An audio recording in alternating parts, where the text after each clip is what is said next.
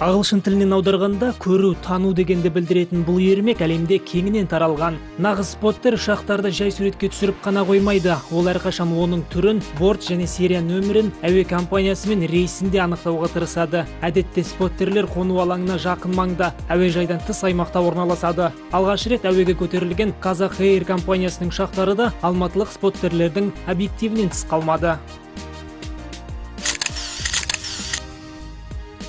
Споттингтің тарихы екінші дүниежүзілік соғыс жылдарынан бастау алады. Британияда тұрғындарды әуеден ұшып өтетін ұшақтарды ажырата білуге және олар туралы дер кезінде хабар беру үшін споттинг ойлап табылды. Соғыс аяқталды алайда әуестік қалып қойды. Во-первых, просто увидеть самолет, это вот. Ұшақты көріп бұл бір қызық. Оны суретке түсіру ол да бір ғанибет. Ал оны әдемі етіп суретке басу тіптен керемет. Түсірген суреттеріңді біреуге көрсетіп оған жоғарғы баға берсе еңбегіңнің еш кетпегені.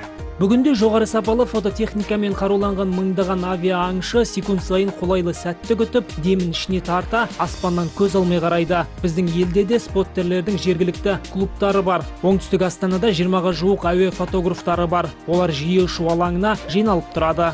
Әрине бала шақтан ұшаққа деген құштарлықтарымыз бар. Ұшқыш болғымыз келген. Алайда осы жағдайға ұшқыш бола алмадық. Бірақ әуемен осылай жақындастық. Ең қызықты сурет мен осы алматы әуес жайында түсірдім. Жүк тасымалдаушы компанияның боинг 747 ұшағын түсіргем. Ол әлемдегі үздік үздік сайттарында 32 мыңдай адам көрді. Споттингте көкке енді көтеріліп бара жатқан немесе қонуға келе жатқан суреттерді ғана түсіру шарт емес. Тұрақтағы ұшақтарда споттерлердің назарын өзіне аударды. Әрине алыс сапарға шыққанда шынайы споттер өзімен бірге фотокамераны алуды ешқашан ұмытпайды. Өйткені ұшақ терезесінен кейде таңғажайып көріністерге куә боласыз.